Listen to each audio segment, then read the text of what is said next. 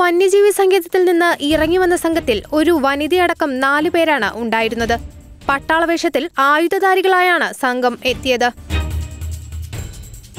ടൗണിലെത്തിയ സംഘം മുദ്രാവാക്യം മുഴക്കി പ്രകടനം നടത്തി. മോദി സർക്കാരിനെതിരെയും ഹിന്ദുമത തീവ്രവാദത്തിനെതിരെയുമായിരുന്നു സംഘത്തിന്റെ മുദ്രാവാക്യം. കടയിൽ നിന്ന് അരിയും സാധനങ്ങളും വാങ്ങി ടൗണിൽ പോസ്റ്ററുകളും പതിപ്പിച്ചാണ് സംഘം കാട്ടിലേക്ക് മടങ്ങിയത്. സംഭവത്തിൽ പോലീസ് അന്വേഷണം ആരംഭിച്ചിട്ടുണ്ട്. ട്വന്റി കണ്ണൂർ. This is 24.